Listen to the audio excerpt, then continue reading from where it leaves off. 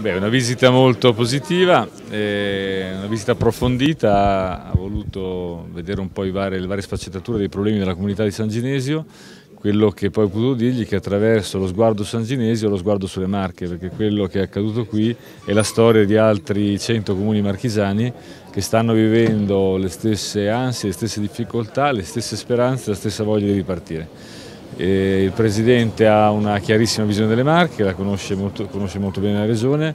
e quindi la percezione che qui il terremoto è estremamente diffuso e occupa una grande parte del territorio, è fatto appunto di tanti comuni che, piccoli magari come numero di abitanti ma grandi come estensioni, ma anche di comuni più significativi che sono stati colpiti dal terremoto, ha quindi necessità e uno sguardo diverso rispetto alle altre realtà. Eh, ha assicurato ovviamente che questa cosa non verrà trascurata ma che ci sarà l'attenzione dovuta in, nella misura in cui il bisogno è, è, stato rappresentato espresso. Ha confermato ovviamente la piena fiducia nei confronti di Errani, di, di, eh, di Curcio, insomma di tutti quelli che stanno lavorando attorno al, al terremoto manifestando questa come una priorità dell'attività del governo. Ho chiesto una particolare attenzione su trasporti e sanità e lo ha ribadito anche il Presidente della provincia, ci tengo a dirlo, allargando il tema della viabilità, cioè quei servizi che sono di sistema, che non riguardano il singolo comune, riguardano l'intera rete dei servizi del territorio. È chiaro che avendo necessità di rafforzare la risposta sanitaria nelle aree interne, ma nello stesso tempo rafforzarla nella costa dove ci sono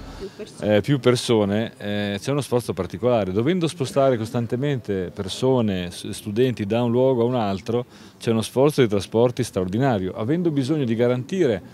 eh, le strade, anche al di là di quello che era il normale tran tran di manutenzione, la provincia ha bisogno di risorse per le strade. E sono le tre voci che in questo momento non è che rientrano in una risposta particolare, cioè abbiamo tutto quello che ci serve per la ricostruzione,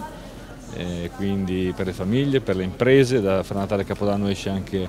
l'ordinanza sulle imprese, sia lievi che gravi, per poter ripartire dove si è, in un posto diverso, sui macchinari, su tutto. L'ultima, come abbiamo sempre detto, sarà quella di febbraio per la ricostruzione delle case danneggiate gravemente.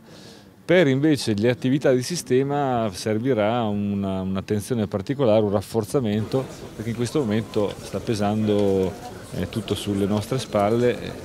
che ovviamente facciamo, non ci tiriamo indietro, però verrà un momento in cui avremo bisogno di un sostegno esterno, perché immaginiamo che questa uh, situazione comunque nel tempo si protrarrà, non è che riusciremo in sei mesi a arrivare in fondo alla ricostruzione. Quindi ecco, è importante questo messaggio, ma la consapevolezza del Premier ci fa ben sperare.